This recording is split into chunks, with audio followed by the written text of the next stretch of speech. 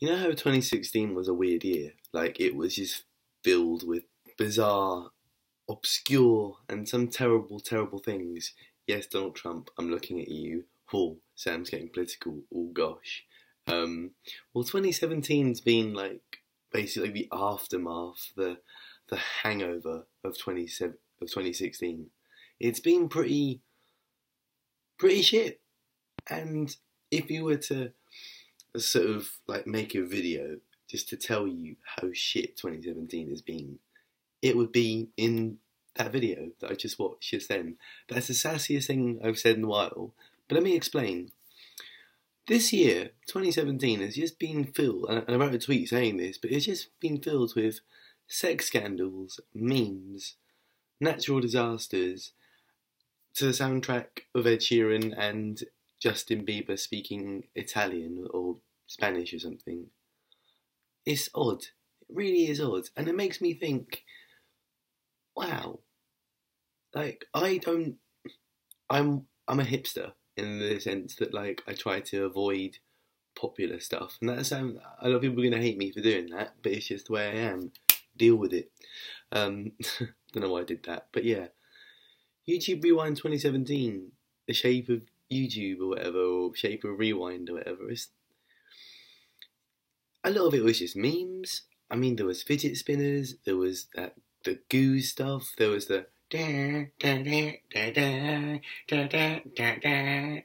like like the man's not hot thing, and it's just like, mate, it's like, ugh, you know.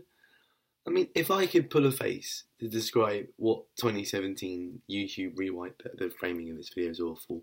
The um, if I, the, if I were to do the this right here reminds me of the if you could do do do a dream where you could do the thing when you could dream when you could do anything, that thing. Um, I forgot what I was talking about now. But if I could do a face that symbolizes what that video was, it would be like this.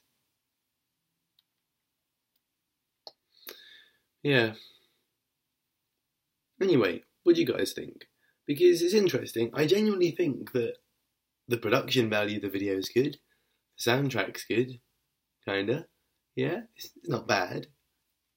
I've seen better. There's, but, but there's been better years. I don't really understand a lot of it. And the whole, like, there was a bit when it goes, it's like memes, fidget spinners and shit. And then it goes, like, about natural disasters. And fair play to YouTube for talking about the important side of life, like LGP, LGP, LGBT communities and being equal, and you know that that's really important. That's so important. And then, of course, so are natural disasters. But then, basically, yeah, this is a, this is controversial. But 2017 YouTube Rewind hashtag is basically a natural disaster sandwich because it's like memes, which is the bread, natural disaster bit when it's like oh, all families coming together, and then it, I, don't, know what that is, and then it's the memes again. Yeah, very strange, very strange. But yeah, what what do you guys think? Let me know in the comment section below and stuff. I'm sorry my bed, my, my bed isn't made. Kind of bit of a mess. A bit like that video. A bit like this video.